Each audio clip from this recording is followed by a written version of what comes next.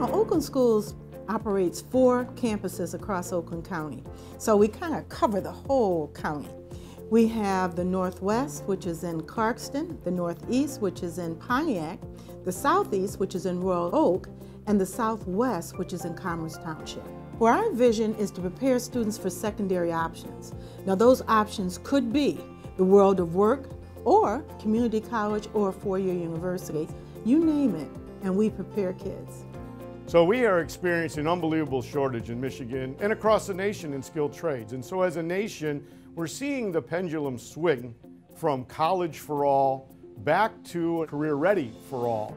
And career and technical education here in Oakland County is allowing students to meet those. The four campuses are designed to deliver regional career and technical education for juniors and seniors in high school. So they spend a half a day at our partner districts and a half a day here at the technical campus. And this is a great opportunity for students to gain a competitive advantage. I'm studying energy and technology. So um, there's a lot of things I like about this program. You're actually going out, you're learning a trade, you're using your hands. As you can see, we're working with our hands every day. Graduating high school, starting my apprenticeship out, the apprentices start at 26 an hour. It's a three-year program after you graduate.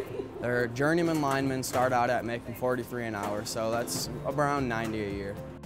What we hear from our students is that when they're taught by instructors who have been in the real world and actually done those jobs and earned a living doing it, they have what we call street cred. And so it goes a long way with our students.